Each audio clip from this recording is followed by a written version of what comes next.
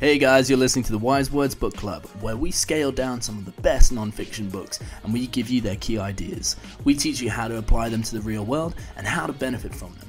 So if you're looking to improve or looking to grow, then why not listen to some wise words? Words that make you wise.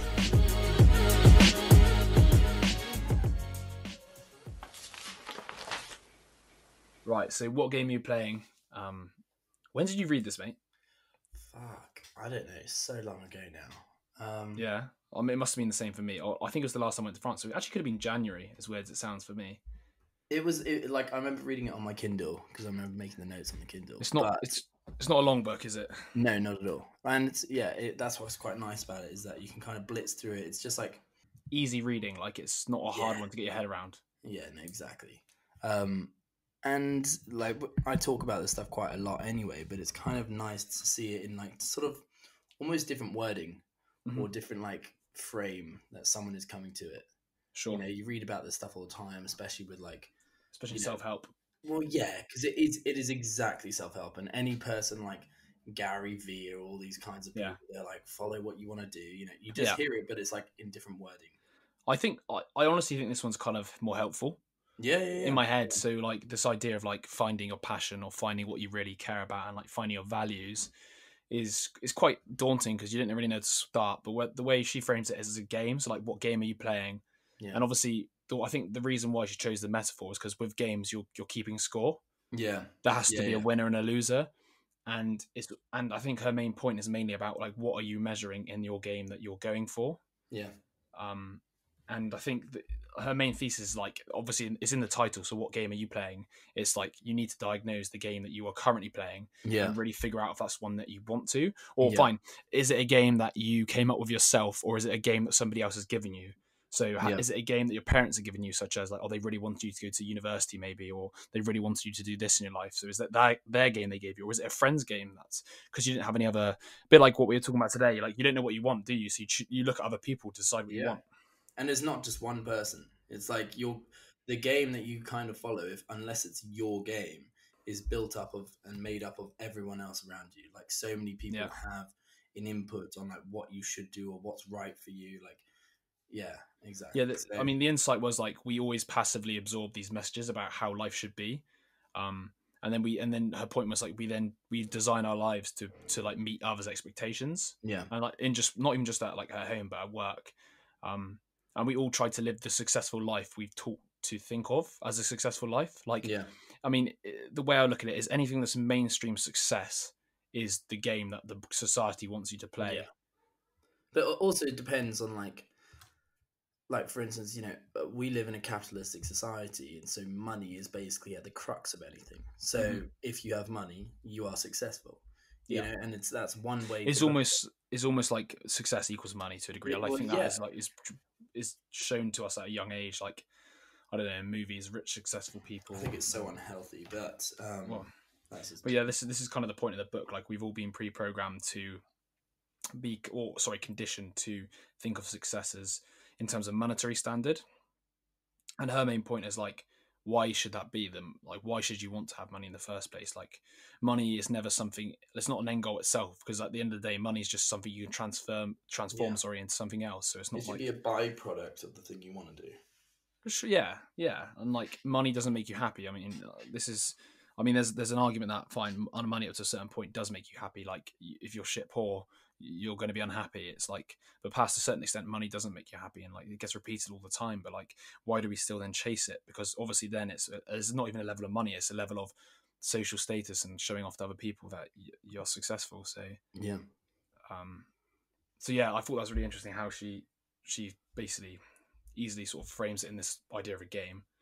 yeah Um, simplify uh, simplified it so that way everyone can kind of understand it Yeah, and it's it's funny because she talks about the conditioning where like Mm. um we we actually get scared when we step outside of our sort of what so basically we've obviously through life we've met loads of different people and we sort of set up some implicit rules of the ways we're going to behave and it's quite interesting how she talks about how we get uncomfortable when we sort of behave a different way or yeah if we're scared to do something new because it might make somebody angry with us or somebody might get a bit Yeah. uncomfortable with us because we're behaving differently. For example, like let's say you've worked from a nine to five job all your life and you suddenly turn around and go, right, that's it, fuck it.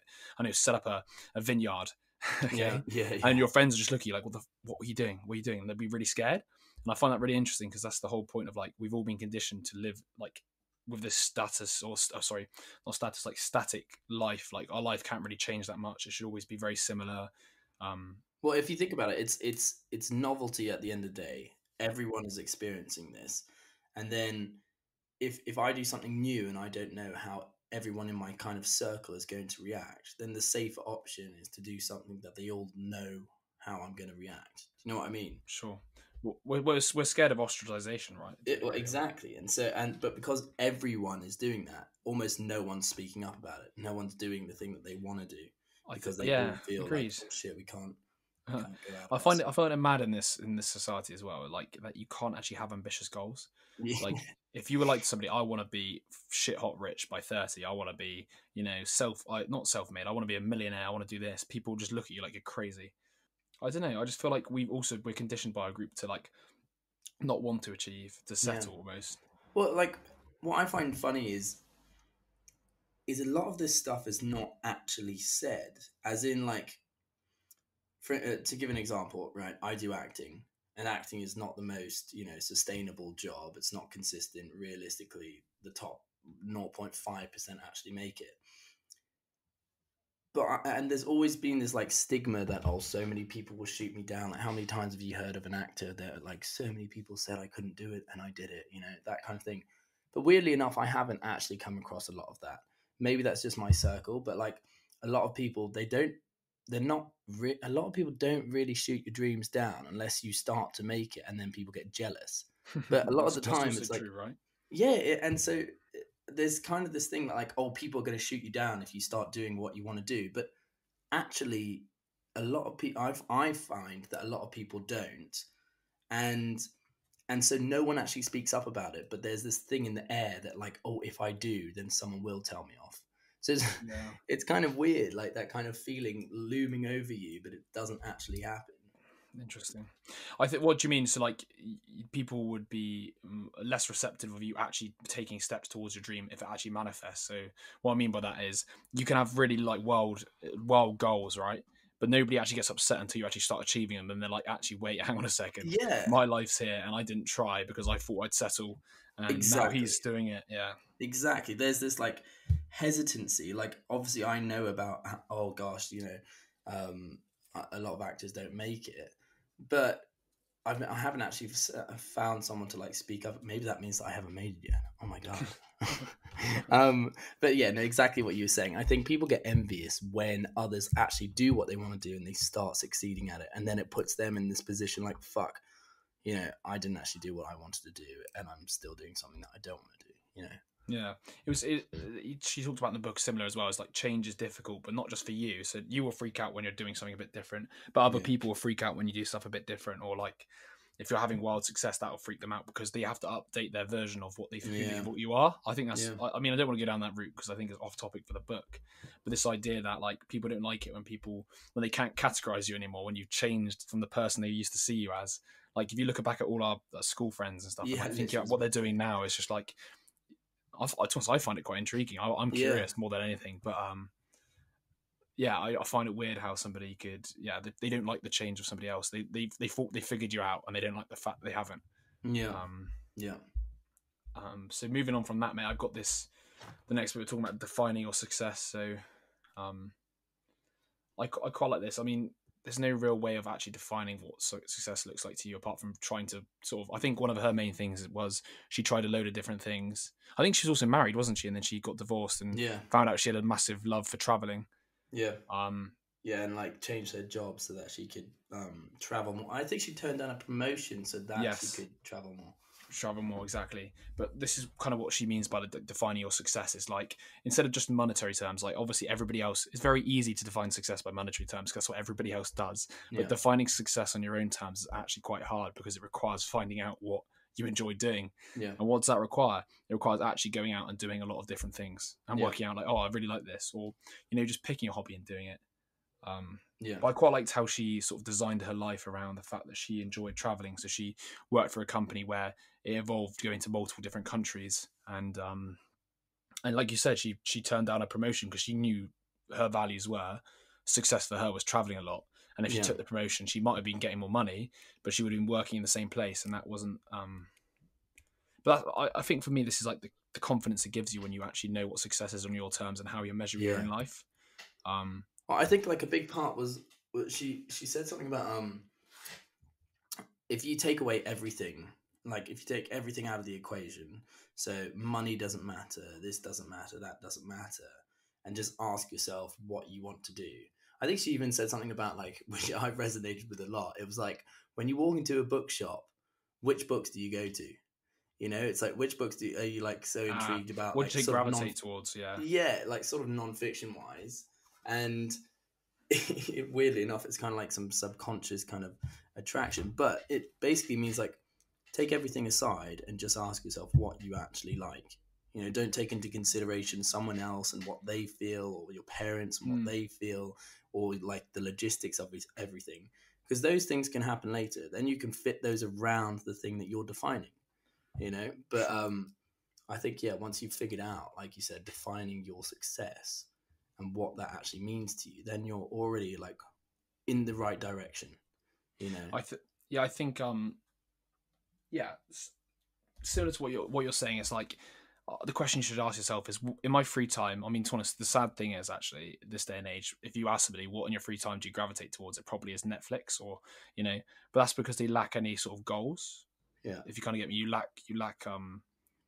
Sure, it's- it's not there's, even motiv- there's clearly someone who is listening to this right now who's got Netflix like open on their TV. no, but in my head, like, fine, there's a time and a place for it. But if you find yourself gravitating towards entertainment every time you're not got something to do, it does mean you're not really. There's nothing else in your life outside of work that you're focusing on, yeah, like projects. yeah, Um, that's like so. I think the main point would be fine. Let's just hypothetically say you you're not really. I mean, maybe you find you love may- maybe gaming could be another alternative that people actually want to be a professional gamer. Fuck it, I don't know. Anyway, not to shoot down those dreams. It's like whatever you gravitate towards in terms of hobbies that you like doing, whether it's sport or something. Try and design a life around where that gets more. You get more time to do what you want. yeah, and you're that improving it. yeah, yeah for sure Yeah, that's another motivation, isn't it? Like progress, feeling progress in what you're doing. because Um, thing is, like, you could, you could potentially be watching Netflix, but if you're watching Netflix in a lens of like, oh, you're a film producer or you're a Yeah. director, then it's different. You know, you are literally working at a skill. The same thing with like, you know, playing a sport and you're you're just trying to get better at it. Um, sure. So it's like everything can be defined in a way, but you've got to be actively going towards that definition, actively going towards that goal. Because so many things are like escapism. You know, I could go and watch TV. I could spend hours on Instagram or uh, what are people uh, like TikTok and things like that. You know, but it's it's brain numbing unless you have an, a kind of goal behind it. If you get what I mean, Yeah, for sure. an agenda. I think I think it's quite interesting as well because she started going into as well. Moving on, it's like the games other people play. So like, Mm. so she had the Power Money, which Yeah, is classic. That's probably the most popular game I would have said, especially. I was about to say especially for males, but it's not. That's not hundred percent true. But it. It, it kind of is like the status um, sort of signaling and trying Well, to go the after the best jobs. Um, I quite I found this one quite interesting, the security one. So like, some people try to play the game of coming indispensable, so in an, in an aim to make sure they're not like fireable. So they aim to Mm. become somebody that is basically that's somebody who's after security is just after a stable life. Um, which is quite interesting. And, and then yeah. The interesting one was the zero sum games, which I think a lot of people get trapped in. Like the game of making the most money in the company is what she was saying, but that's basically saying like the game of trying to get to CEO of a company because it's zero Yeah. sum. There can only be one. Yeah. Um, and the moment you set that as your sight, you're going to be in for a pain because it's hard to get there. Yeah, I was going to say like that kind of ties into um, the molecule more like the dopamine thing is like you're constantly going for the next thing, but you never get there because you've always got a next another step to go to. You're never Sure. satisfied because this isn't like the game you really really want to be playing. It means that you're never like satisfied in the moment, and so you're constantly searching for the next thing. Yeah. Well, they also don't have clarity on what it is they want because they think they want to be the make the most money in the company, right? Yeah, And then when they get there, like we said before, money doesn't make happiness. So like anything that's money or power orientated, these things can easily be lost.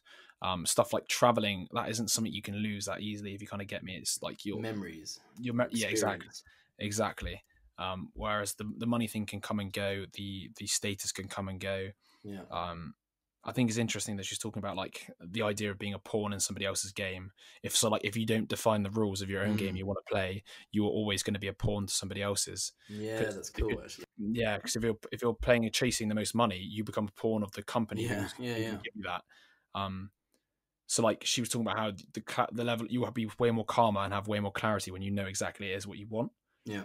And I'm not saying this is an easy decision because I could even argue that I don't even know still know what I want, but at least I'm But trying none of them are easy decisions. Like these things don't just like happen overnight, and Mhm. it does take like if you are surrounded by a thousand people, you know, and like ninety percent of them are all following this this game. It's quite hard to not conform.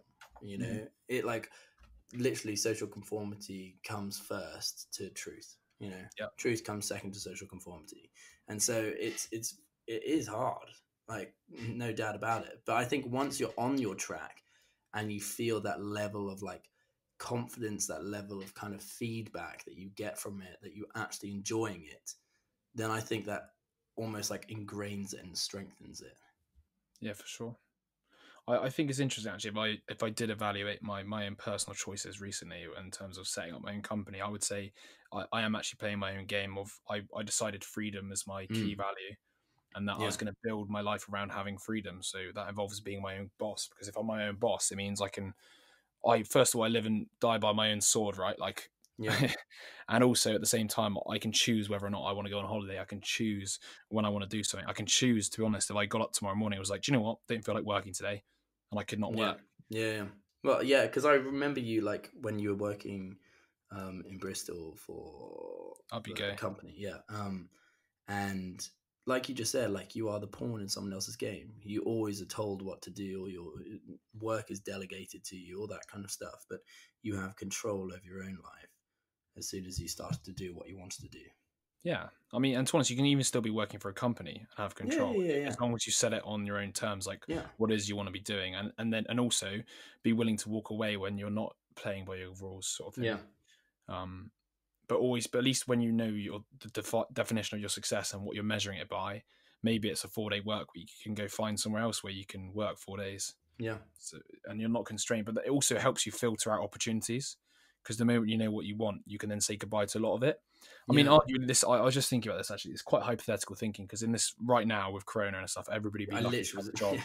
so it's kind of wishful thinking, but it should always be at the back of your mind, like when you get the next opportunity or in your free time, develop skills that would help you get to where you want to be. yeah yeah exactly Um, and I'm I'm going to talk about now the like the people projecting their games because I thought that was quite interesting. How no matter what, I actually I'm convinced this happens with everything. People project their own standards onto everybody else. yeah I mean, a classic example actually would be like, let's just say you did something and they'd be like, oh, why'd you do it that way? That's their way of projecting the way they Yeah. do things onto you. And I would say that's the same as when they say, let's just say you were like, oh, I turned down my promotion. Most people would not be able to understand it because they're too busy thinking of the game of make the most money Yeah, or yeah. get to the highest uh, position. yeah And I think that's really interesting because you can see people's revealed preferences by the way they treat you.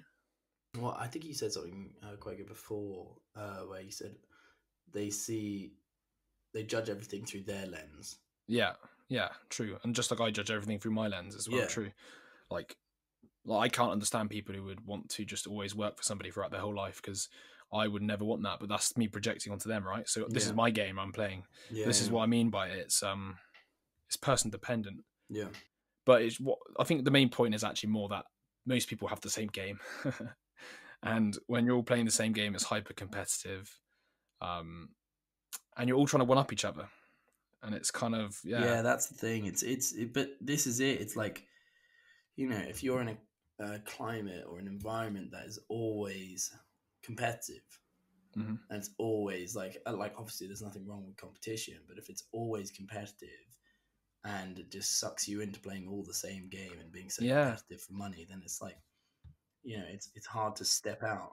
she made an interesting insight saying like if you change from the default mode which is like money orientated position orientated like work your way up earn a lot of money you know have a cool have a nice family Um, she said when you'll see you'll see how many people operate under this uh the same common assumptions Yeah. because they'll be so confused by the way when you present yourself afterwards or the, if Yeah. you change the way you operate they'll be like hang on a second why are you doing that um basically if you're sticking out in terms of life decisions you're making most people will be confused yeah, Um, which is kind of sad because it's yeah. like it doesn't promote individuality or authenticity.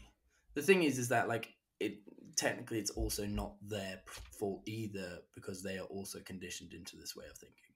well they haven't been able to question it or yeah, exactly. They can't. They haven't seen any other option. So now that you're the only option, you look like oh, it's like jarring. It's like oh, why are you doing that? Why aren't you doing it this way? Like we're all doing it.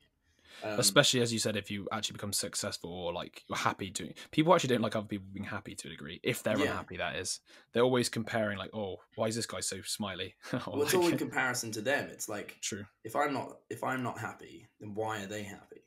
I've been doing. What the are they doing thing. differently? What are they Yeah. doing differently? Yeah. and then when you ask them they tell you something like oh i quit my job they'll be like what how, did Yeah. that, how did that make you Yeah. happy Yeah. was it's it like stressful um, uh, what's that scene in like Wolf of Wall Street where he's like, "You show me your your uh, pay slip for last month, and I'll and I'll quit Um, my job right now." yeah yeah yeah yeah exactly oh yeah and he goes and he goes and calls right straight Yeah. I he's like, yeah, yeah. Hey, That's how a you cool doing? scene. Yeah, all good. Yeah, I'm. Uh, by the way, I've quit. that's a cool scene i it. mean everybody wishes that sort of just fell in their lap but then Yeah. also that is also another thing based on uh, money yeah, like, no, it is. based It on is. money. It is. So don't Um, follow Donnie or whatever his name is. yeah i think it was donnie mate yeah. Yeah, I'm convinced. Hmm. Um, but yeah, Yeah. I, to honest, I after reading this book, I didn't walk away with many um, sort of like hints at what a good game to play would be because I Mm. don't think there is like a right answer. Right, this is back to what I was saying a second here, which is you kind of got to find what's right for you. Yeah, I personally no one don't else like is being gonna told know what to what do. you.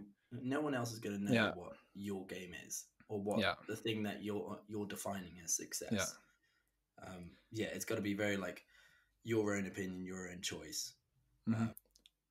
I, I, the way I would see it as well is kind of like, especially when you're younger, like of course you've got to look at other people to define what game you think's worth playing because I guess uh, in a in a way it slims down the choices because if everything was worth playing, you nothing would be worthwhile. So we need to have like a common goal as a group if you kind of get me, we need we need each other to be put ourselves on the straight and now Like this is something that we should be going after.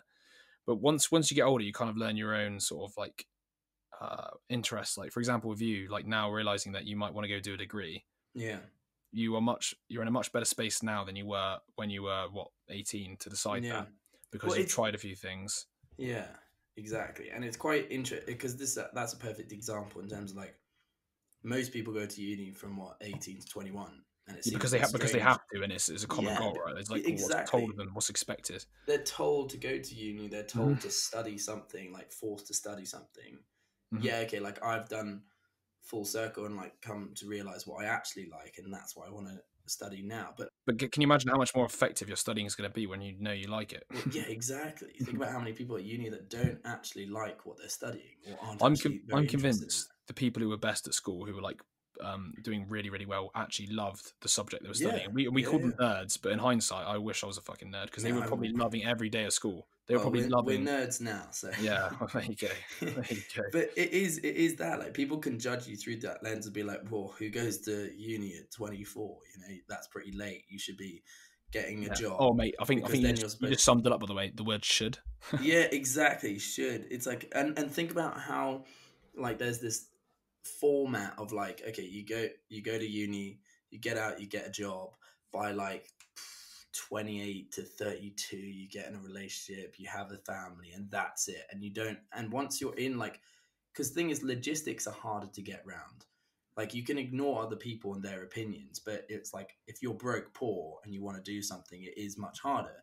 Of so if you have a family and you have kids, it's much harder to do the thing that you want to do than if Sure. you had started when younger. Obviously, there it, there are always ways around this. So if anyone's listening to this and they want to change, of course, there's ways to change.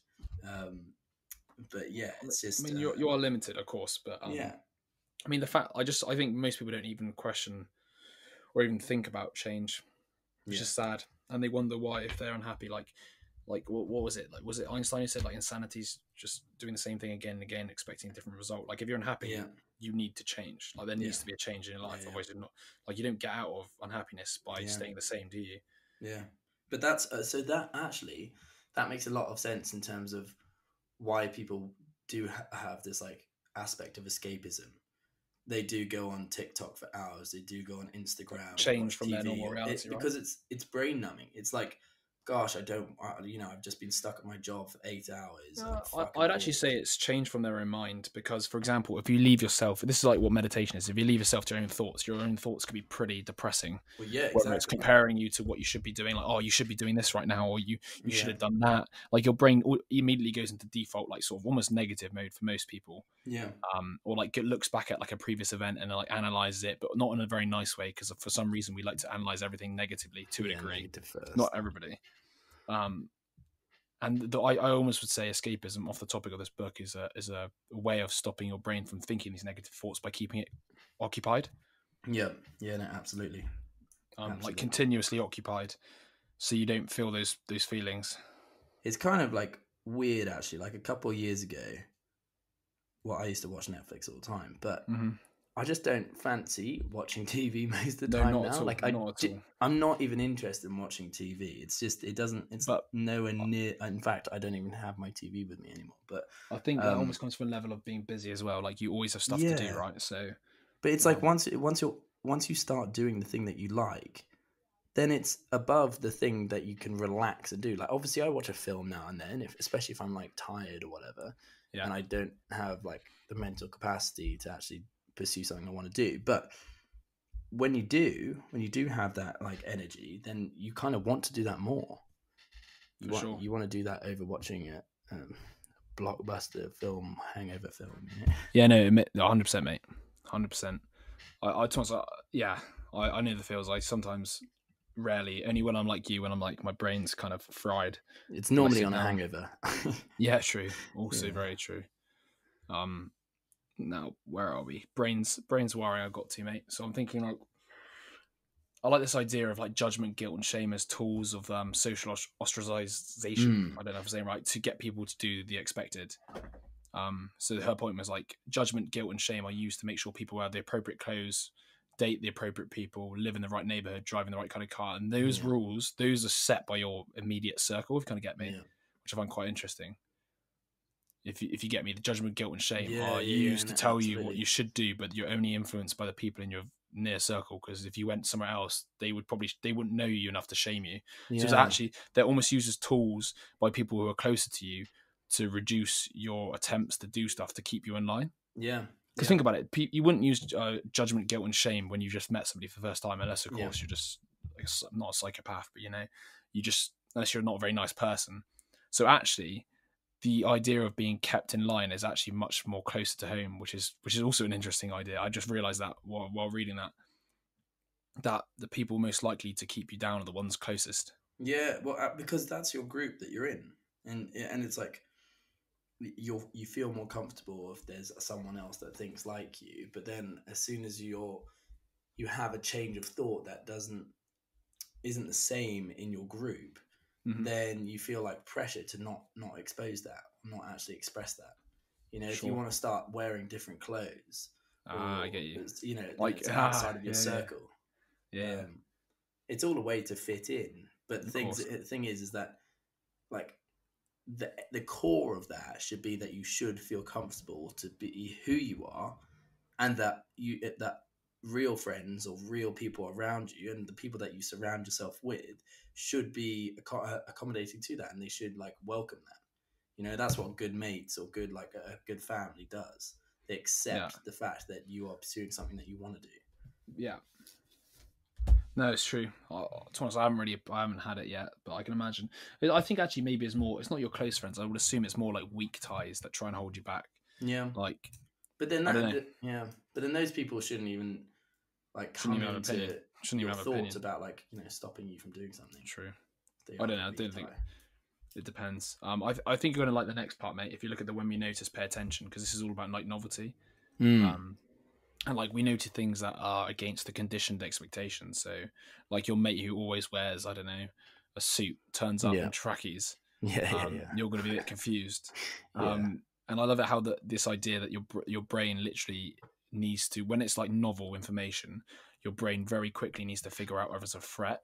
yeah, or uh, what what like what well it basically needs to find an answer to it because your brain actually walks oh what was it? It was really interesting. I don't know it was divided brain but it was talking about how like your brain always like is predicting in advance things. Yeah. and like your attention is basically a function of like when something when something is breaks that prediction like i mean it's a classic open loop thing but like you you will literally stand to attention if it breaks your um your uh, expectations. But i find it interesting for example somebody does a clap in a social area you might not look okay but if somebody if there's a big explosion noise you always look because a clap you kind of come to a level of agreement that that is a kind Yeah, of expectation yeah. you could have but a boom is like a proper and i was sat i think it was at nice right at the top of the castle and they have a every day at midday they shoot out a cannonball and it's Uh, fucking so- loud okay So you fucking jumped. I'm I jumped the shit. Every, no, but everybody did. Okay, Okay. everybody did. Yeah, yeah. And what I mean by that is like there are some levels where it's such a big break Yeah. that you like you literally biologically that I don't think anybody, not even a fucking monk who's meditated for years, yeah. could bypass.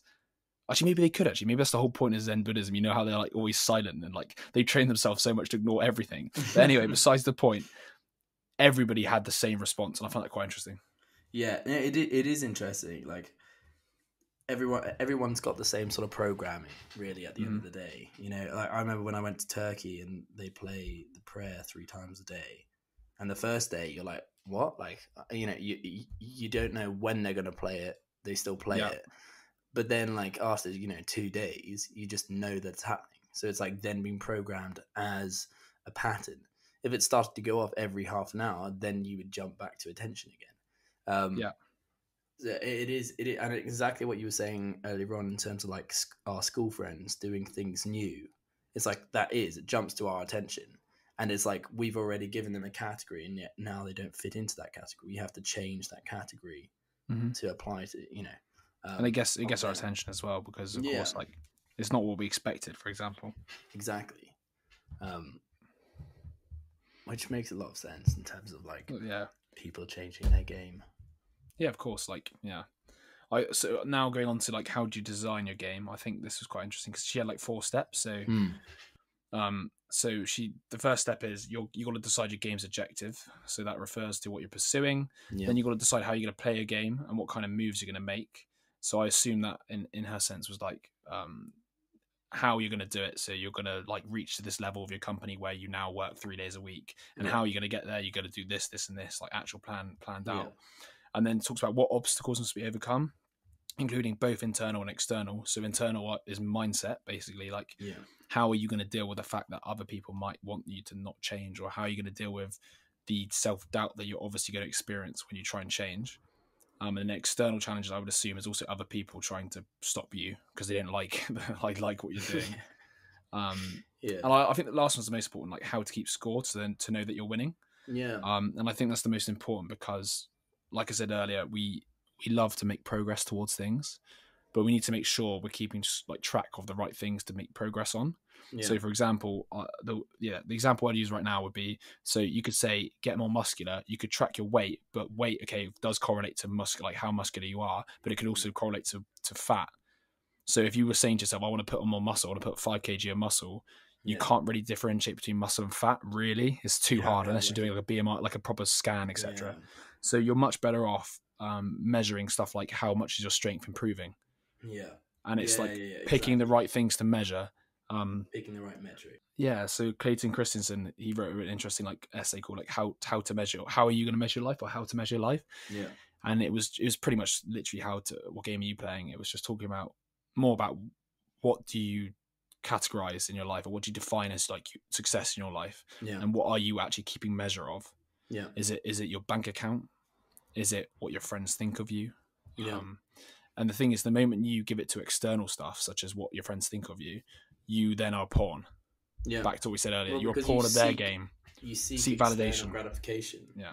yeah, exactly. so this is why it's important to make sure you know what you're keeping track of and it was really interesting because i read warren buffett's um, biography Mhm. um, that somebody wrote about him, and he, his dad basically ingrained into him about this internal scorecard, and it was like you have an internal scorecard of the values that you have and what you want to do, and you don't listen to anybody else. You just keep Yeah. ticking along that internal Yeah, scorecard, yeah. and that's literally why I bought this book right here. The score takes care of itself from Bill Walsh. Like it's all about like making sure you're keeping track of the right thing. But then, uh, like the overall life plan will take care of itself if you track the many the many things that matter. Yeah, Um, and the thing is, is this it, like it's very similar in, in in terms of like um creating a habit. You know, Yeah. the four steps. There's always these four steps, and it's these things get easier. You know, like the more you do it, the more it becomes ingrained. The more you don't listen, like seek external gratification, and you know, keep tracking your game and making sure that you're measuring it properly. The easier it will become, and the more it will almost become like automatic. It will become your like natural behavior. yeah, Um, so like yeah, the hardest bit the hardest bit is starting. The hardest Of bit is realizing, okay, I do have this. There may be more hurdles at the beginning than there will be later on, but once I'm through the big hurdles, then you know it's more downhill than Then, then I think oh, yeah, the, the hardest part is probably one defining what you want to do, yeah, then two getting at it. And Yeah. then- in fact, actually, well, I mean, it's easy to say, but then also there is there is obstacles such as like what he said or what she's saying. Sorry, about other people reacting to you. yeah, Um, it's not to that none of this is meant to be easy, but it's it's, it's Yeah. almost. I think I think the whole premise of the book is mainly to have a more fulfilling life, like based on your terms and not somebody else's. yeah. Um, And and thing is, is that like a lot of this stuff can be done with bite sizes. You know, like small little steps. It doesn't have to be. You don't have to take a massive chunk the first time. You don't Mhm. need to go into your whole like friend circle and be like, "This is me." If you don't accept it, that it's you know you can like. It doesn't have to be like that all straight away. Um, Of course.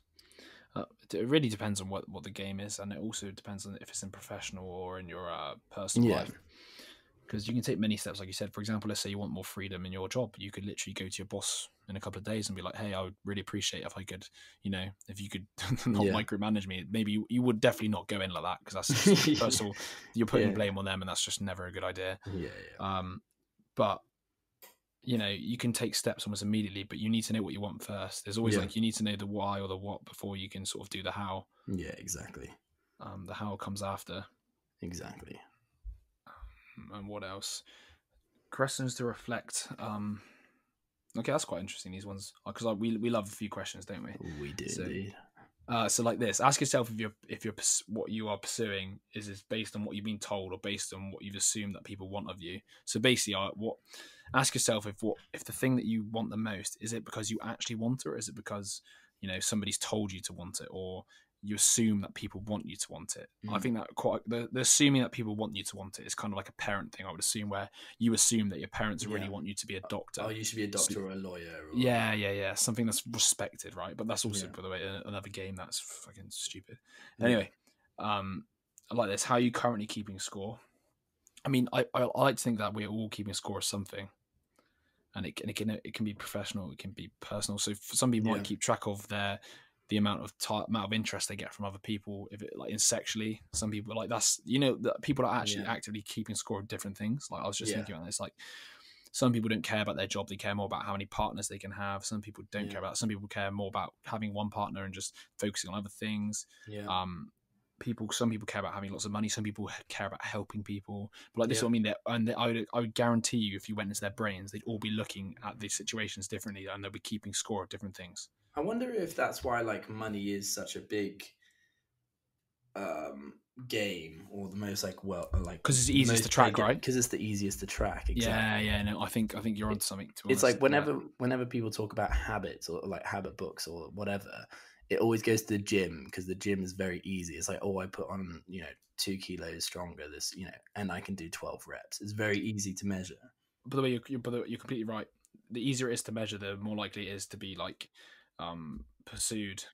like you just said in terms like some people measure like helping uh, whether they help people or not but it's quite a hard metric. It's like unless you have a metric there like how can you measure whether Uh, but, someone that, but isn't it, but isn't that why charities kind of like go like 500 kids saved or? Ex- exactly exactly. But it gives the illusion of growth doesn't it? It's like I it's the illusion you- of progress? yeah I, I remember you talking about the um oh i've read this many books but it doesn't mean you know the books Hmm. you know it's like it gives you the illusion that like oh well i've read 50 books so it means that i've done this but And like in I think the, the the most humbling part is what happens if all the books are based on false assumptions from the Yeah, start. exactly. Everything you've just digested is wrong. exactly Um, which a lot of them are, by the way, from what I can understand now. If I take like a scientific lens to most of them, it's just anecdotal. It's like, oh, this one story, okay. So what does that mean? Is hundred percent true the whole time? Yeah, my yeah ass. exactly it's Um, such a generalization it happens all the time, but that's the way we have to think. But um, You have to be skeptical. yeah, sorry, we've gone off the track of like keeping score. I think the score thing's so interesting because it also talked about like what you measured, what you measure gets managed is like Pete. Uh, what, get me- what gets measured gets managed. That's it by Peter Drucker. But it's almost I remember hearing it as well as like human nature to game game scores. Mm. So the moment, for example, let's say it was a sales team and your score to get this month is five thousand sales, you could promise the world to get to that five thousand sales. It's not the obsession with getting five thousand sales means you get there anyway. That means like anyway necessary. It doesn't mean they're good sales if you kind of get me. Yeah. And I, it, uh, what was it? It was Andy Grove, who's the Intel CEO. It was paired measures, and he talks about how you can try and pair quantity with quality. So not only do they have a quantity measurement, so like let's say make five thousand sales, but quality based on like how what have you promised them and how long do they stay on, kind of thing. And if you don't if you don't have paired measures, you're asking for trouble because people Well, will yeah. just game it. Um, and I thought that was a really interesting insight. Like you should always have a countermeasure. Would that lead into like the single perspective then? Because if you only had like one way of measuring things rather than your dual, like you were just talking about. Yeah, you should. If you measure things through one way, people will find a way to make sure that measurement gets boosted if it's a target. Um, like yeah, you you need a you need a secondary measure or you need something other test. Yeah, yeah, hundred percent. Now it's more about like so it's what you keep your score of. Um, how well is your objective aligned to how you play your game? Um, are you are you keeping score of the things that matter the most to you? I think that's quite interesting. Um, most Yeah. people like you s- oh, to it's just so hard to actually. The more I think about this, the more it's hard to not have money involved in some of this because, like for example, something can matter the world to you, but if you're not paying your mortgage every month, um, you're in trouble. that's going to take priority. Yeah. Um, I think this is yeah, it's a book more for like actually exploring your options and trying to create a reality where you're more happy. Yeah, Um, absolutely. um, and to be honest, for me, mate, that's pretty much the, the whole book. I don't I don't really know how much more I can say about it. Yeah, no, I think that's I think that's pretty much it. To be honest, um, I think, yeah, I, I think the one thing I'd encourage anybody who's if they've listened this far is to actually just go back and evaluate sort of what game you are playing or thinking about what actually matters most to you. yeah, um, what are you keeping track of uh, and remember that everybody is keeping track of different things so comparing yourself to somebody else is actually pretty pretty shit because they're actually keeping track of something else like yeah, you might be thinking oh wow that guy's got a lot of money whereas he's probably he could even be just like really enjoying his life you know but he's made a load Yeah. of money off the side of it and he doesn't actually care um yeah. yeah Yeah. And I think like another point is like even if you don't know what you want to do yet or like your the thing that you're interested in isn't like really ingrained and you, you're not sure if you really like it, just test the waters with it. You know, try it somewhere, try it, do a course in it or something like that. Something that like it either piques your interest more or you realize actually no that's not something that I want to do and then you try something else. You know, it, it, you don't have to start by like giving up your job and suddenly making a drastic change. Just like test the waters and see how it feels. for sure you only find out what game you want to play by playing multiple and then you know then defining what it is that you enjoy the most and going after it i guess Yeah. Yeah, exactly. And that mic drop is it. Yeah, that's a wrap.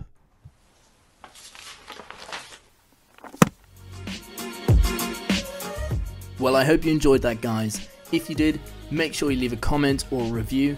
And if you want to know more about what we do, or you want to read any of our book summaries, head on over to wisewords.blog.